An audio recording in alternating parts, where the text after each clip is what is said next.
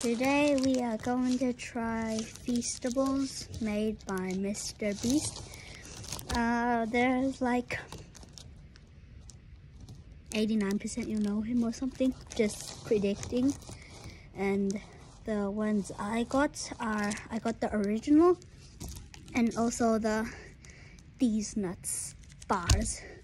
So I'll, I'll rate them when I try them and if Mr. Beast somehow you are watching this, then please tell me if you like my ratings or not. Well, first, I couldn't open the bar with my own bare hands.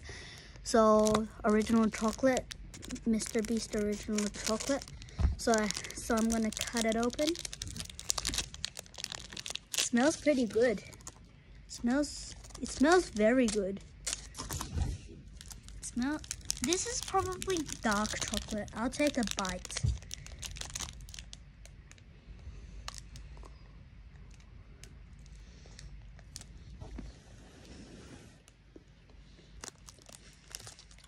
I think most people don't like dark chocolate, but my favorite type of chocolate is dark chocolate, not being weird or anything. 9.5 out of 10.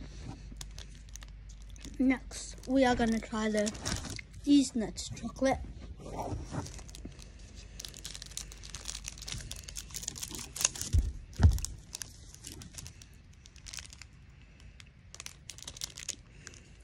Can't figure out what this chocolate is, what type of chocolate this is. So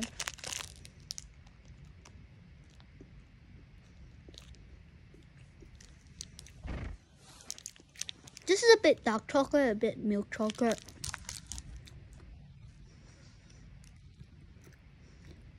Seven point seven out of ten.